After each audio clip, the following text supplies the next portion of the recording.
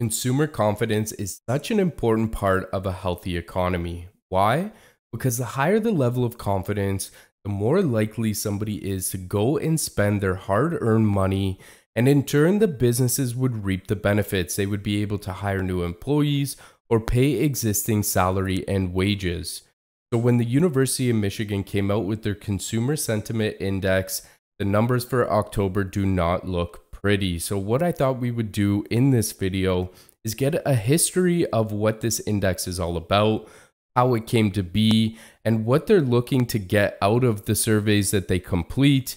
And then in turn, we'll look at this most latest report and get an understanding as to why consumer confidence is on the downtrend. And then what we'll do at the end is we'll compare the consumer sentiment index to the S&P 500. But if this is your first time here, my name's Nick. Welcome to Ways to Wealth. Before we get into the video, huge favor, huge ask. If you learn something new or you get some value out of the video, hit that like button for me. I would definitely appreciate that. And if you haven't already, please consider hitting the subscribe button and turning the notification bell on.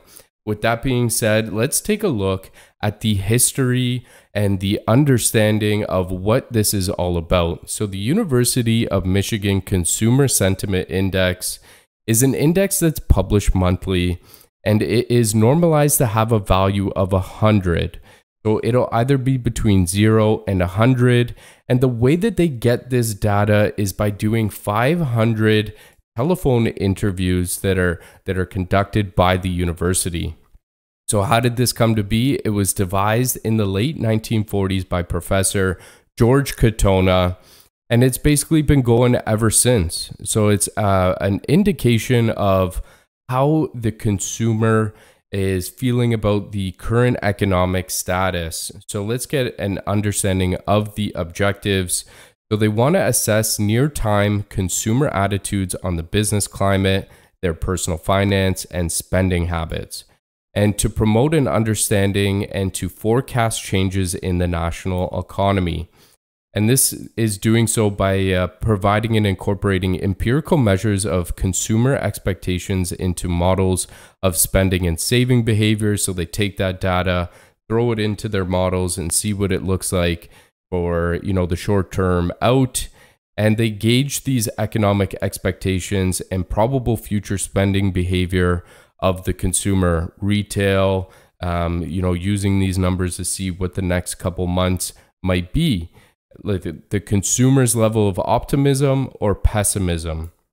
So what they do is uh, they look at three things how they view three things their own financial situation the short term general economy and also the long term general economy. So basically, in a nutshell, they're calling 500 people, 50 questions they ask to get an understanding of how things are looking at home. And in turn, this gives them an indication of what the next couple months may look like for the economy in general. And we know that the stock market and companies, based on the reports and earnings, these two should be somewhat correlated. So the next, uh, what we'll do is we'll take a look at the latest report directly on the Michigan website right here, and to get an indication of what they're seeing in the marketplace right now.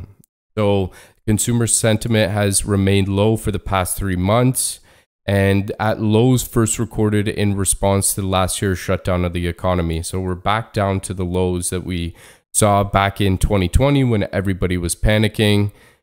Three top reasons uh, why things are looking a little rough right now. Obviously, Delta, supply chain shortages, and reduced labor force participation.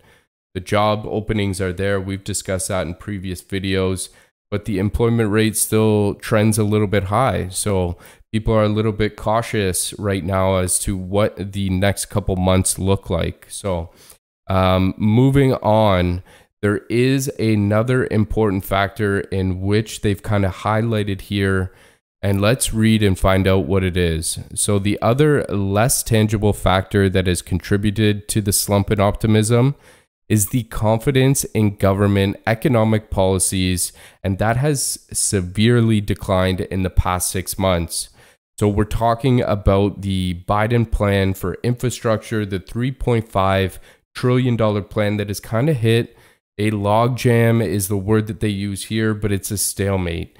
No, nothing is really looking to get passed, and people are starting to get worried. So, consumers in the past were more attentive to the debates about extending the debt ceiling or passing major spending programs. You know, the, the past videos that we talked about that was most likely not going to be an issue. Well, they're not concerned about that anymore. The, what the conversations they're having with people right now is that they are not certain about Biden's current plan and just basically the magnitude and how long, uh, depending on what level of number it is, is it going to take to get into place? How quickly can they pass it and get it going? So, when asked about their uh, confidence in economic policies, favorable evaluations fell to 19% in early October from Biden's honeymoon of 31% in April. Unfavorable policy evaluations rose to 48% in early October uh, from 32% in April. The decline in confidence in economic policies were recorded across all age, income, and education subgroups and across all three political views, even though we know there's more, but Democrats, independents, and Republicans. So it seems that this is starting to become a huge concern for people. We printed out so much money in the past 16 months or whatever that time frame is. They're already looking at adding $3.5 trillion to the Federal Reserve's bank sheet. And uh, they're concerned about how long this is going to take to um, basically roll out. So, with that being said, we understand that the number is low. Let's take a look at where it trends over the history. So, what I have here is I have the past uh, from the beginning. Uh, we have a max chart right here. So, you see, starting in the late 40s there, all the way up to today. And we can see that this number hasn't really been trending since obviously that par- portion in 2020 that's located right here. And then we kind of have the dips that go around. But what you can see is after that 2020, we started to see a pickup in consumer confidence. And those numbers were absolutely fantastic. And I think they were reflected in terms of the supply chain constraints that we're having right now. Obviously, people are buying more things, that confidence is good. But what do the next three months look like? What does the next month look like? It looks like, you know, people aren't spending as much as they did when the money was so prevalent last year. We'll take a, a closer look. We can see here, this is a five year chart. Numbers were very strong, and I think that was reflected in the stock market at that point. But since that 2020, um, uh, you know, issue that we surrounded, it's kind of been rocking and rolling, which is to be expected, to be honest with you. Um, but what we'll do next is I've I've put on this website a comparison between U.S. customer sentiment using this University of Michigan, and we're going to take a look and see if we see any correlation between the confidence dipping and the S&P 500 dipping. So if we take a look here, this is the max chart, and it basically goes back to just before 2000 and we can't really see too much of a there's a couple patterns here where you have the the us consumer uh, sentiment there in blue and the stock market in black. We see little dips here but there's not too much over the long run there. But what we'll do is we'll take a look at a 10 year chart and here's where we can start to see some similarities or correlations in both of these uh, two different aspects. So um, we see consumer sentiment dropping here, and these are just little ripples, but you can kind of see dripping, dripping, and uh, you know the big one there was back in 2020, and we see the ma- major fall off, followed by the increase in consumer index, and then obviously the increase of the S&P 500. Let's knock this down to a year.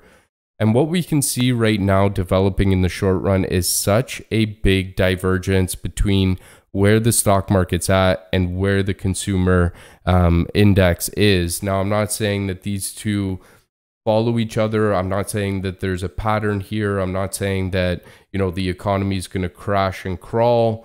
But there is some caution that I have for retailers, especially when you consider the supply chain issue that's going on and also um, you know all the stuff that's kind of coming in for christmas is it going to hit shelves? Are people not going to buy as much if the product isn't available? We've seen major retailers the nikes the apples of the world allude to hey our future earnings may be impacted. So right now i'm kind of taking a, a step back on retailers or looking to add retailers into the portfolio let me know what you think. Uh, do you use this, you know, uh, macroeconomic factors to determine where the economy is going to be? Or are you using some other type of metric to get an indication of where we're at right now and where we're going in the future? But I hope you enjoyed the video. I appreciate your support. If you enjoyed it, you're still here with me, hit that like button. And uh, if, if you're still here, hit that subscribe button. I hope you all have a great week in the markets. Happy trading.